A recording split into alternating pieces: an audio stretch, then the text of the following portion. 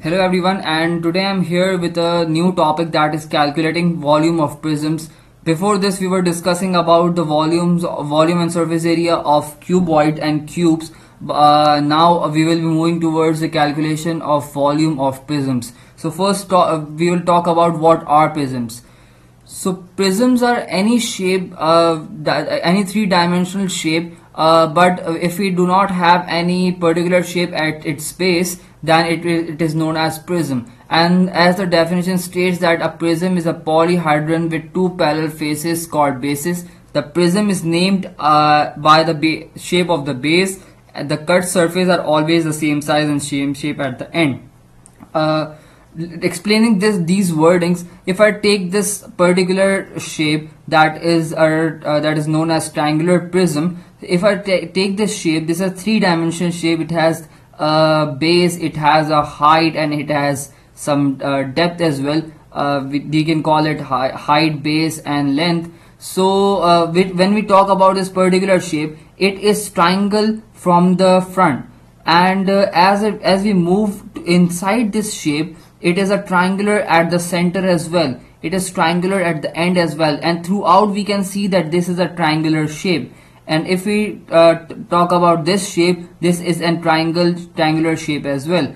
And uh, when we talk about this particular shape it is a hexagonal. That means it has six sides six edges. And uh, when we see it from here throughout it is the same as well.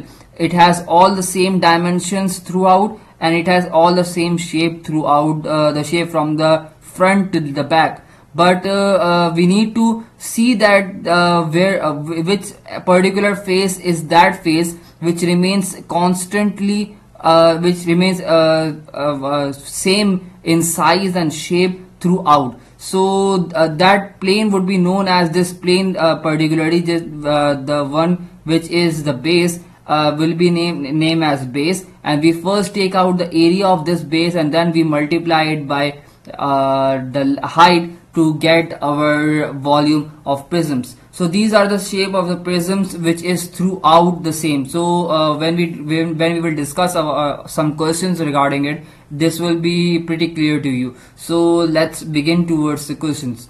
First of all uh, let's discuss the formulas. That is the formula for prism as is base area into height. This is a fundamental formula that is uh, uh, base area into height. This is used for any any uh, volumetric figures. The for prisms I've uh, stated this base area into height but uh, we can take it for any volume. So when we talk about the volume of a cube uh, if we if we talk about volume of cube we have discussed earlier that cube has is a three dimensional figure with a base of square. So uh, uh, in, if we talk about uh, its prismatic name that is squarer prism. If I talk about rectangular base which is also known as, known as cuboid we can uh, call it rectangular prism. And if we talk about a triangular base which we discussed a uh, bit before it, it is known as triangular prism. And so on are the names. Uh, when we talk about the formulas when we were discussing uh, the cubes we had a formula of length into length into length or L cube. And when we are talking about cuboid it was length into breadth into height. So when we take the this base area this base area is length into length in case of uh, cube because this uh, it has a base of a square. And square has an area of length multiplied by length but when we talk about rectangular rectangle has a base area uh, calculated by length into breadth. That this is known as the base area which is uh, at the bottom of the shape. And when we multiply it by height or the length which is throughout the shape uh, that is that becomes the volume. So these are all in brackets. They are the base areas and they are multiplied by some length or height. I've written it here length. We can write it here height as well but uh, as all the uh, dimensions are same in cube uh, sorry uh, sorry in the cube and square so they remains the same. So I have written length and length and, and length all three lengths. So let's look at the questions. So this is a question this is a prism. Uh, it has uh, it has a parallelogram in front and we can see this throughout it is a parallelogram. It is here a parallelogram and we can see this this is a parallelogram parallelogram at, at the end as well.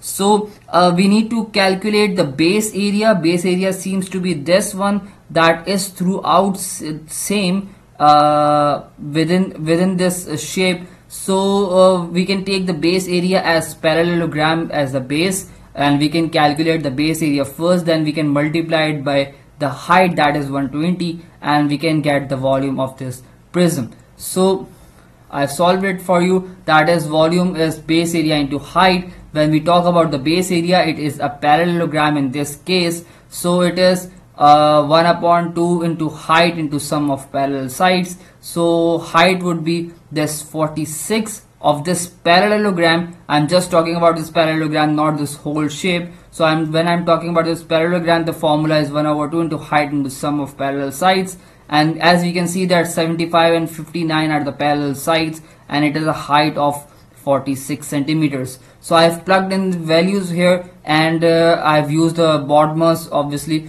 to resolve this and then I have got the answer as 3082 centimeters square as the base area.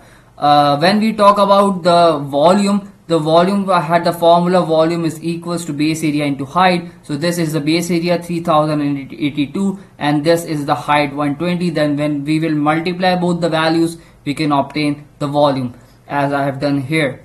3082 into 120 that is 369840 uh, cm cube so let's take another example that is the case B. In this particular case uh, we can see this this is a front face which is throughout the throughout same uh, within the surface. So we need to identify this base area first that which one is the base area. When I talk about this area it has it is not the same because it has a full rectangle here but here it is a gap. So throughout this is not same but when we talk about this front face it is same throughout as we can see that this is the cutted part behind this uh, figure as well. So when we talk about this shape this is the base area. But uh, this is not a, spec a, specific area or it, it does not have a specific formula to calculate this area. So I can divide this shape into three parts as such we I, I can draw a line here I can draw a line here and I can take three rectangles to solve the base area first and then I can multiply it by uh, the height that is throughout 10 centimeter and I can get the volume. So let's divide it first. I have divided it for you. That is rectangular 1 rectangle 2 and this is the middle one that is rectangle 3 when I talk about this rectangle it has a length of 5 and a base of 6 that means 5 and 6 5 into 6 is 30 that is the area of rectangle 1 when I talk about the area of rectangle 2 it is 3 into 9 that is 27 uh, cm square. When I talk about this particular area now this seems a bit tricky. That is uh, uh, when I talk about this particular length this is 9 as it is here. And uh, from here till here it is 6 so this remaining part seems to be 3 that is uh, 9 is the total and 6 is this small one and the remaining would be 3 to complete this 9 and uh, when I talk about this uh, specific length as we can see that from the top till bottom it is 16 and from here from here to here it is 5 here to here it is 3 so middle one would be we can uh, add 5 and 3 and then we can subtract it from 16 to get this uh, the straight line which is which would be equal to this. So that then we can apply length into breadth again for rectangle 3 so I have solved it here for you. That is rectangle 1 is 5 into 9 and rectangle 2 is 3 into 9 and rectangle 3 is 8 into 3 and I have obtained the answer as 96 cm square as the base area. And I need to multiply it by 10 to obtain the volume. That is volume is equals to base area into height and base area is 96 into 10 that is 960 cm cube. I have another example for you. That is uh, that this this is a shape. Again I need to identify first the base area and uh, this front face is the base area which seems throughout same. Uh, when I talk about this front face it seems something like triangle but it, it is not a triangle because it has a height over here and uh, uh, a triangle do not have this straight line at the end. So I need to divide this shape as well as I did earlier in the previous case. So I can draw a line here. This seems to be a rectangle in the bottom and triangle at the top so I have done I've drawn a line here and it is a rectangle uh, at the bottom at, uh, at the top and at the bottom it is a triangle. So I have uh, solved the area of tri of rectangle first as it would be 3 into 18 and when I talk about the triangle the base area base would be remains 18 but the height would change as from here to here it is 12 but uh, here to here it is 3 so I've subtracted both of the, both of them to obtain 9 centimeter which is from here to here. So uh, we can solve this base area and then we can multiply it by 35 to obtain the volume. So here's the solution.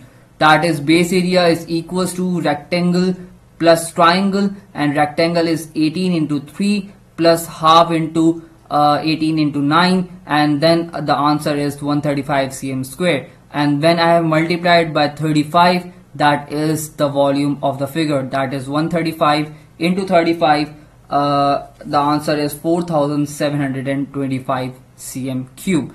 So these were the questions regarding the volume and the, uh, the volume uh, of prisms. I hope you understood the, all the concepts. And if you have any query please uh, comment below. Thank you